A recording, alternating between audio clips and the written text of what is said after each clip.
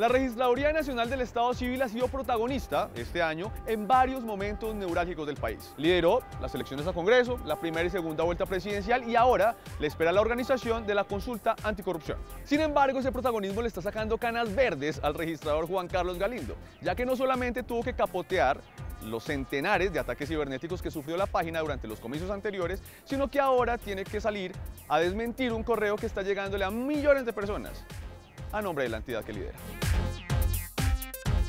Dichos correos le están llegando a centenares de personas, a usted o a mí, y le informa que uno, fue designado como jurado de votación y dos, que como no se presentó en las elecciones del pasado 17 de junio, se va a hacer acreedor de una multa de 20 millones de pesos.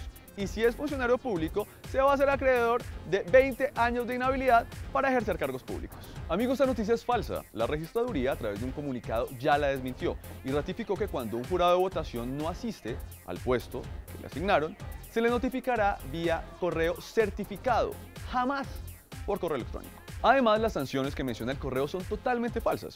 Si usted, siendo jurado de votación, no se presentó a la mesa que le asignaron, lo que le va a tocar es pagar una sanción de 10 salarios mínimos mensuales legales vigentes.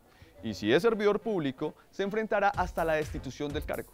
Pero tranquilo, la registraduría le va a notificar y usted podrá acercarse a presentar descargos y a presentar su defensa. Así que si a usted le llegan correos con esta información, lo primero que debe hacer es verificar la cuenta del remitente. Estos correos fraudulentos generalmente vienen de dominios como Hotmail o Gmail, así que es muy fácil darse cuenta que son falsos. Ahora, si en el cuerpo del correo usted ve links o fotografías, jamás de clic en ellos, pues puede estar descargando un virus. Soy Felipe Castiblanco y si usted tiene una noticia falsa que denunciar por electoral que parezca, no deben escribirme a arroba Pipe Castiblanco en Twitter o Instagram o con la etiqueta Vive Digital TV. Y recuerde, siempre, siempre que tenga una noticia o un correo electrónico en sus manos, mastique. Ojalá cuando ya haya cumplido su deber con la democracia. Chao.